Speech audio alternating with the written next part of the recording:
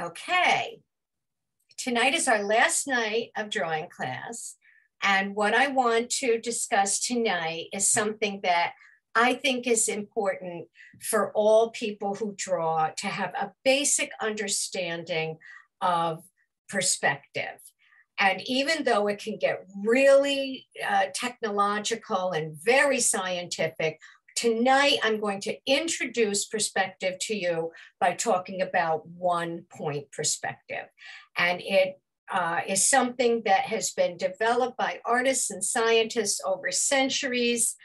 It took a while for the human brain to figure out how to capture three dimensional effects on a two dimensional surface if you recall seeing things like the Egyptian paintings on the walls, everybody was so two dimensional, they couldn't get an idea of how to capture depth.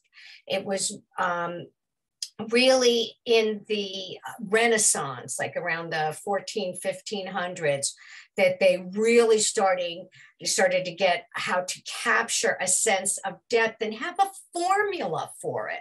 So what I want to put up on the screen now, I'm going to do a share screen because one of the all-time masters of perspective is MC Escher, who has shown as his uh, posters were very popular in the 70s. They still fetch good money to this day. And he sold them for such cheap back in the 50s and 60s, you know, 50 bucks or something like that. But as you can see from this uh, print, he's got at the top half, you look like you're looking down a staircase, and the bottom half of the print, you look like you're looking up a staircase. And he's known for manipulating perspective to mind bending proportions. But what we're going to do, I'm going to stop my share now.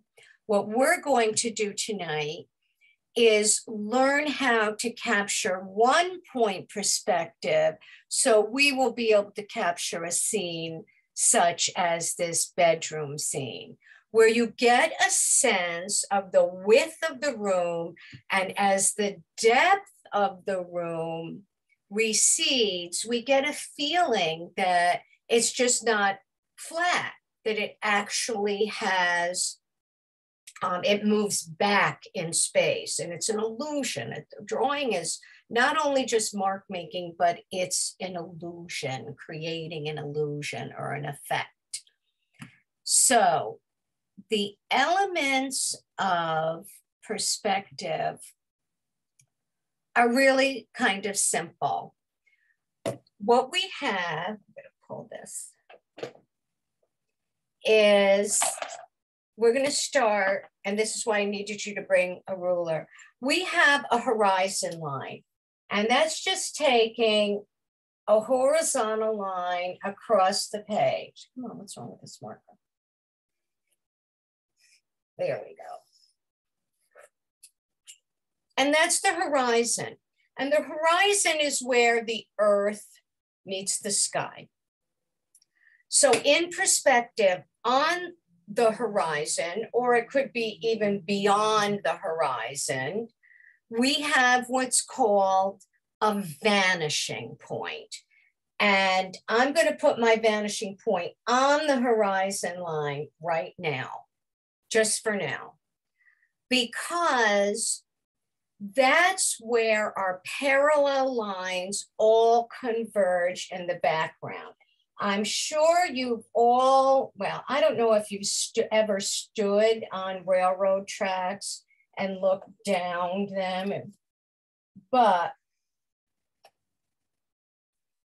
if we think about railroad tracks, we know in our mind that they are parallel but as, as you're um, standing in the middle of the railroad tracks looking towards the horizon, those tracks are going to converge. Even though we know in our head they're parallel, they're going to converge at the vanishing point.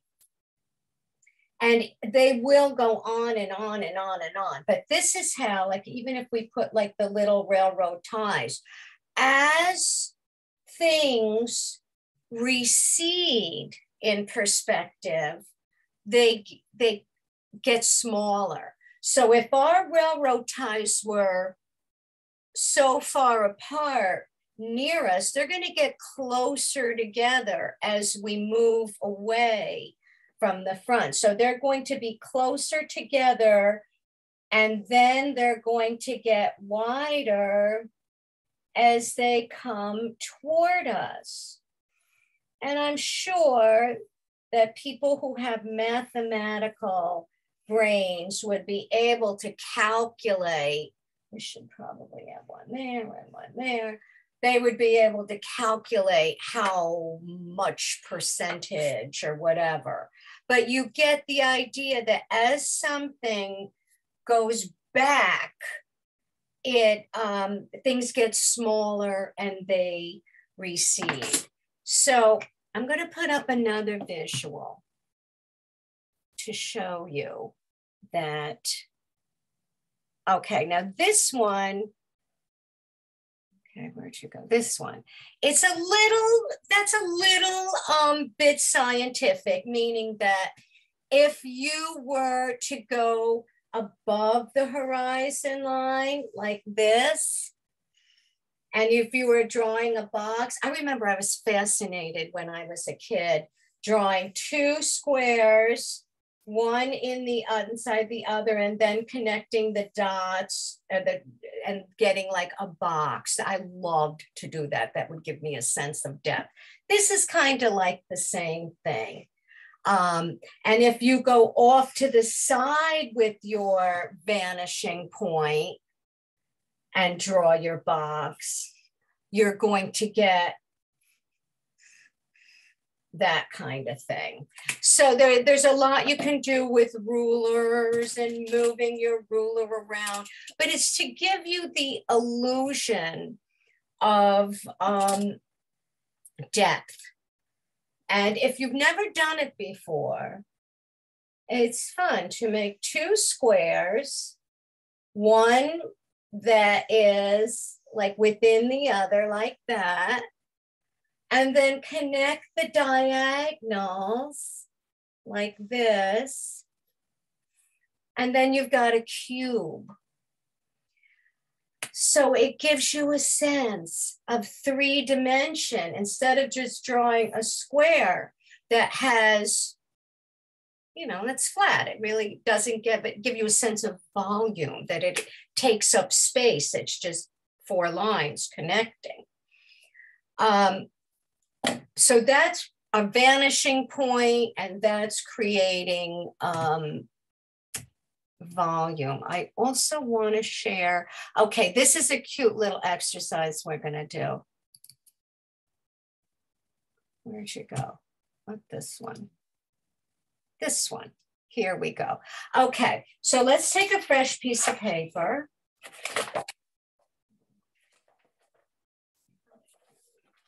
Flip it.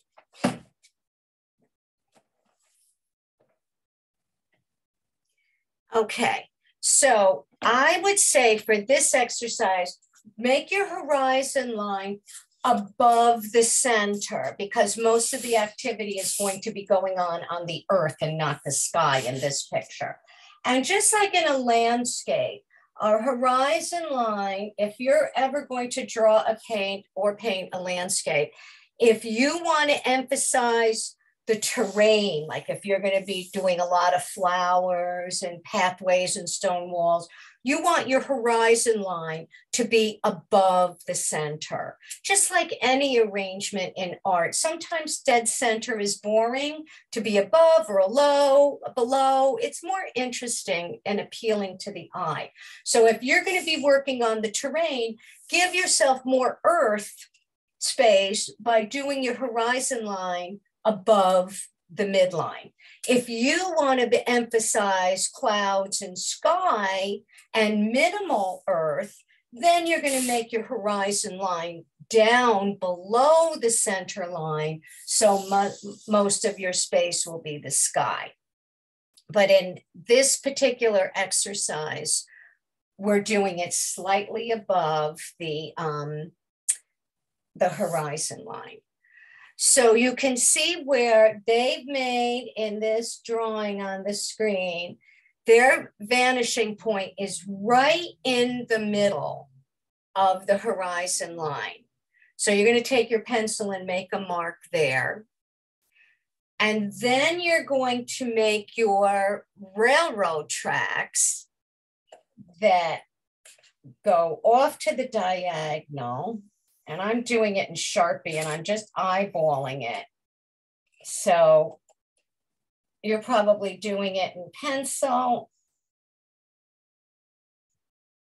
And I'm like not right on top of it. I'm off to the side.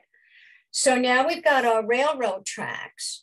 And as you can see with the fence post that's on the left side of the railroad tracks, they took their line and they bring it right up to the vanishing point again. And they bring it off to the left for the bottom of the fence. So all the lines converge at the vanishing point. So there's the bottom of my fence, my fence post. And now I'm going to make the top bar of my fence post. Maybe I should go back and make my railroad tracks so I don't get all my lines confused when I'm looking at this. Oh, come on, it's, stand still, ruler. Okay. So I'll get to the pole, the telephone poles on the other side in a minute. But if we think about our railroad tracks in the middle, there's, oh, I see, they go, there's these slats. Okay, so the slats, like I said before, they are going to be wider at the forefront and then get skinnier and skinnier and skinnier as they recede into the distance. So maybe I'll make them. I'm using the width of my ruler is the first one, but now I'm going to have to make them smaller and more the lines more close together as I go into the distance.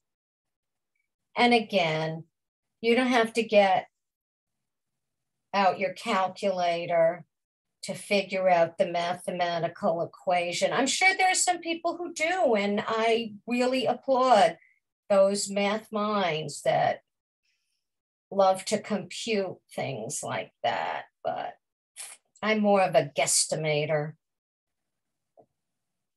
even though this is an exact science. So as you can see, my tracks are getting closer and closer.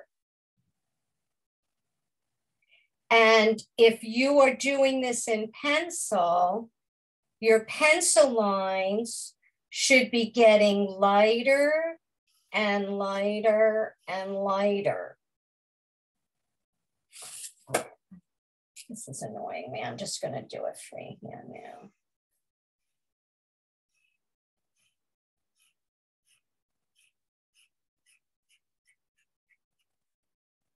So you get the idea that it's um because this is all I got the same thickness on this marker. Ideally, the thicker lines would be up the front and the thinner lines would be at the back.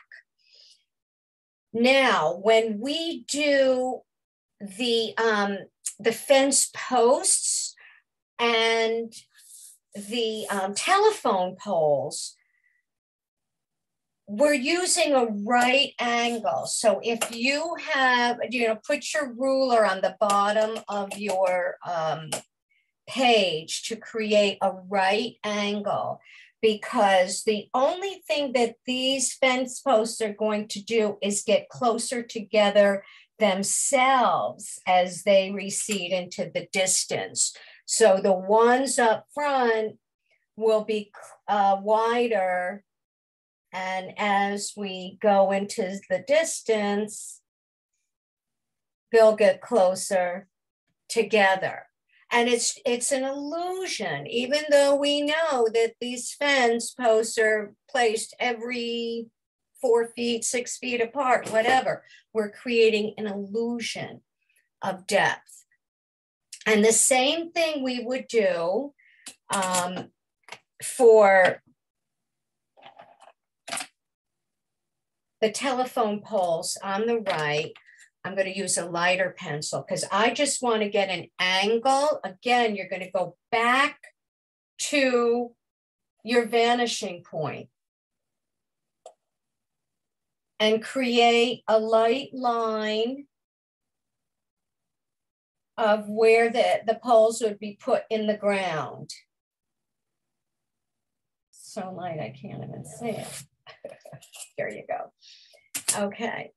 So now I would do the same thing I did before by holding my um, straight edge at a right angle. Now, if you have a, a triangle, you know, if you have like one of those mechanical drawing uh, triangle things, that's very helpful.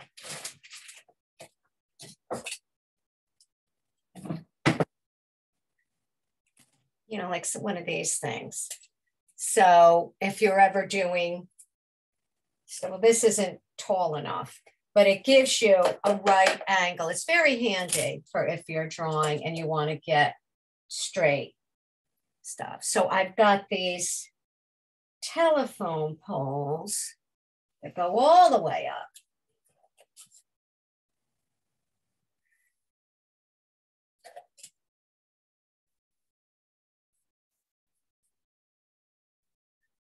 And they've got Oh, I see the point. Oh, good, because this is going to make us work in the sky. Good, I wanted that.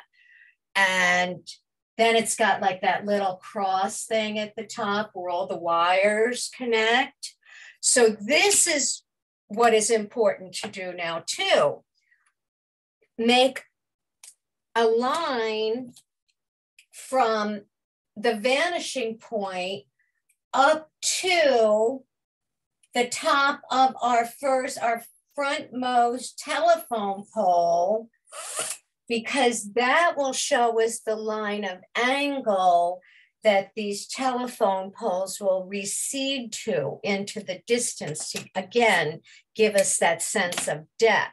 So I've got my line up there that I just made, but I did it very faintly because I didn't want it to be as bold or as strong as one of these railroad things. So now I'm going back to my heavy marker and I know now that my telephone poles go in the ground here where I made my line from the vanishing point and the telephone pole will end where it hits the line from the other vanishing point to the top of this telephone pole. So that telephone pole is that high and a little less thick because it's further away. So everything that's further away is a little smaller. And then my next telephone pole is going to be close, a little bit closer to the one I just drew, because even though we know in our heads these poles are maybe 20 feet apart or whatever, it's the illusion we're trying to capture. So then this one, again, in the ground at the line that it's almost like a, a radii, a radius, and hitting the top there. And then I can think, I, I think I can get one or two more in. And always having that guide so it was very helpful for me to draw those guidelines.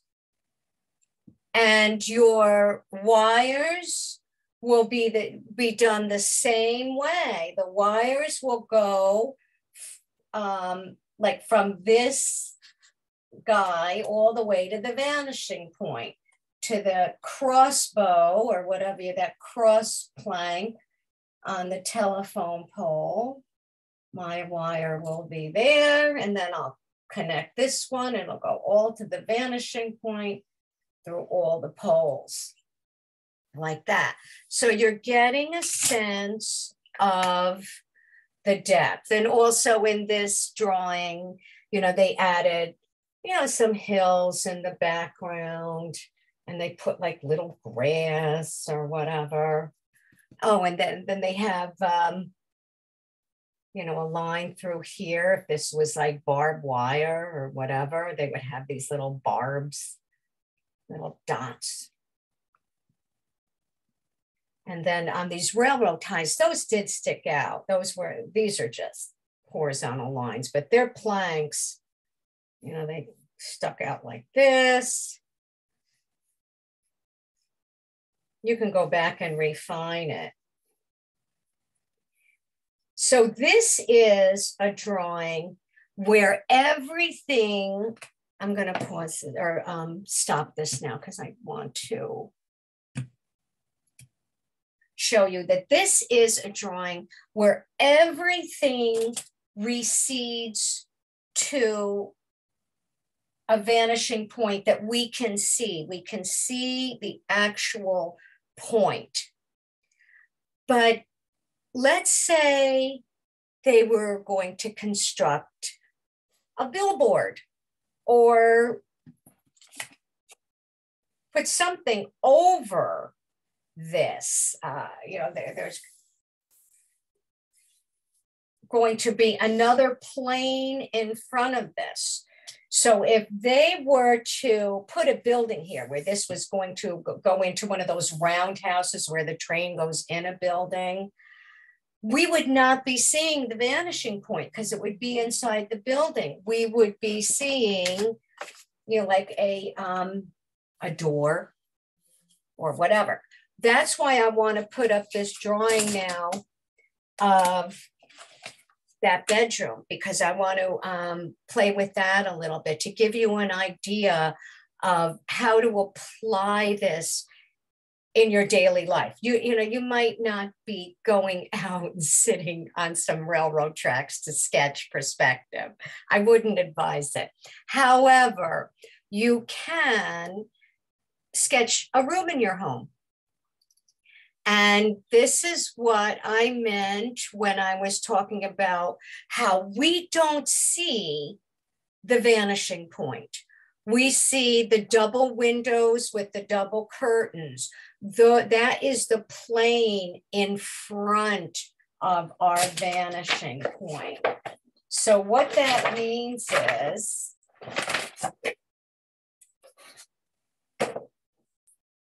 our vanishing point will be beyond our horizon line. So the, the horizon line in this room is where the floor meets the wall, where the double windows, that wall where the double windows are, that's the horizon line where the earth meets the sky, but we don't see the sky. So our horizon line is like here. Although our vanishing point may be way back here. Because when we go to draw this room, we don't see this line. We see this part of the line. We don't see where it connects with infinity, we just see what's happening in front of the horizon line because this is our room. And then you can see the ceiling. I'm not drawing with straight lines now, you can tell. The ceiling goes out like this because our vanishing point is in the middle of this box. And that's why when we look up, we're seeing the lines go this way and we're seeing, looking down, we're seeing the lines go that way. So there are a couple things going on here. We've got this, um, looks like there's some like pictures on the wall or side lights. And we've got these curtains.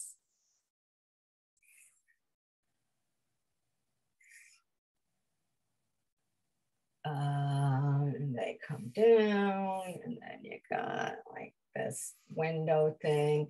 But then we have the bed, and you can see how the headboard is of the bed is also, I'm going to put my vanishing point in the middle of the window right there, that circle.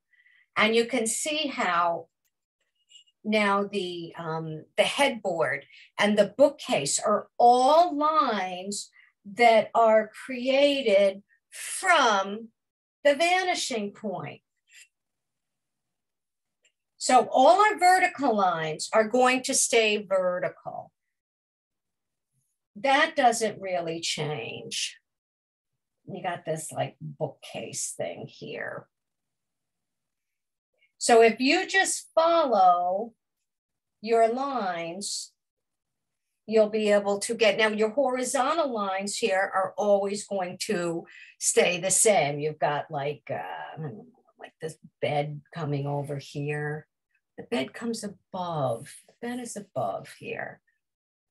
Oh, and then your bookcase. Okay, so our bed is coming over this way. So the bed is going to be, um, you know, those horizontal lines. We're gonna, that's gonna be our bed.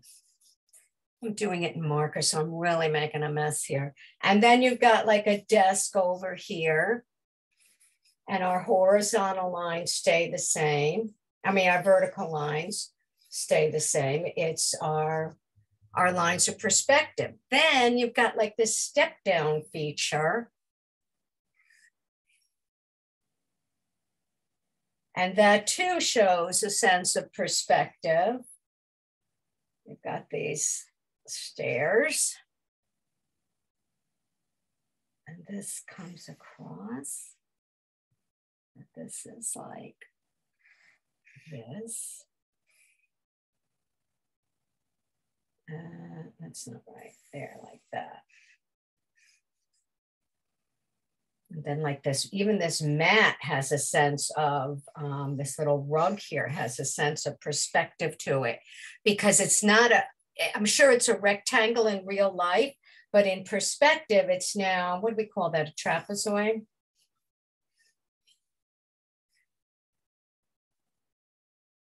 So, so now you're getting an idea of what it's like to draw when your vanishing point is beyond the vertical plane or wall, when it's beyond the wall. Whereas before, we just made the railroad tracks where they converged into infinity. Now, there are so many other things you can do this to and apply this to, uh, but it's great to practice it. Even if you're like sitting in a chair or like in a hallway. Oh, there's another thing I want to show you. I'm going to stop sharing this for a moment if you're, it's fun to draw architecture if you like to draw cityscapes. Um, and one of the things that you might want to bear in mind, one of the little drawing tricks that artists have learned that if you're drawing buildings, the windows will get smaller, small, smaller, smaller, smaller and narrower as they recede into the distance. They'll get closer together and they'll get smaller. Now, in this building, you're actually seeing this is two point perspective. What we were talking about here was one point perspective, where we're just dealing with one vanishing point. In this city, let me flip to a new page. in this building. Did you try again? No. In this building, we actually have two vanishing points. We have one over here and we have one here. And then we have like that corner of the building because one of the building's sides goes to one vanishing point over here somewhere, and the other building goes to another vanishing point over there. So see how now we've got a two point perspective going on because we're standing at a corner looking down two streets instead of standing in the middle of the railroad tracks looking we're actually standing um, in the middle of like Madison Avenue where it meets Fifth. I mean, where it meets 42nd, and you're like in front of the New York Library and you're seeing it split like this. So all your windows will recede back to that vanishing line on both sides. They'll go back to the vanishing line and they will be closer together and smaller as they recede into the distance. So to give you an illusion of this building on a corner with two vanishing points. And then, you know, there's three point perspective and four point perspective. It gets really complicated, but there are some designers, especially digital designers, who love constructing these uh, polygrams and all these cool shapes with um, perspective. So, a really fun perspective person would be MC Escher if you want to really uh, look at fun things like that. Another thing I want to talk about um, before I close this chapter on perspective. I hope I'm not boring you to death because I know in art school I hated it. I thought it was so techno and it, it, it was, you know, didn't appeal to me but now I guess, you know, all these years later, I do appreciate I am the daughter of an engineer. And I think some of that DNA kicked in. But I want you to, if you have a piece of paper, to draw a circle on it.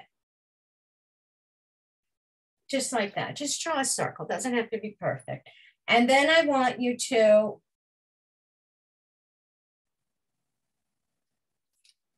dissect it, bisect it, you know, just put it put a cross in the middle of it. And then we're gonna cut it out because this helps, because what we were talking about here is mostly straight lines. But if you think about if you're going to start drawing things like coffee cups or vases, if you hold your circle, which really came out more like an oval or like an egg, but when you start to tilt it, and look at it in perspective, now you're going to get an idea of how to draw that coffee cup, um, uh, the lip of it or the opening that in real life is a circle for the most part, you know, like most most cups, I'm looking for a coffee cup, I don't have one. Um, most cups are circles. But when you tilt them in time, that circle becomes from here, it starts becoming flatter and like more of an oval. This is like an ellipse. And you can see that as you tilt it back or tilt it forward, the X, those sections in the front are going to be larger than the sections in the back. It just gives you an idea of perspective when you're using circles and not just straight lines. This works for a lot of things. So um, that's as much as I'm going to take take you for perspective tonight because that's enough.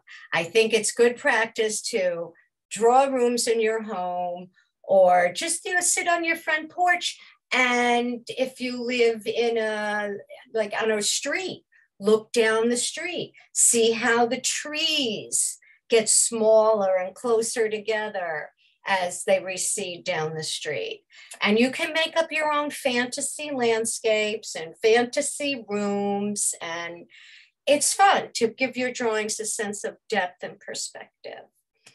So I'm going to um, ask you if you have any questions to unmute yourself and I'll be happy to answer your questions.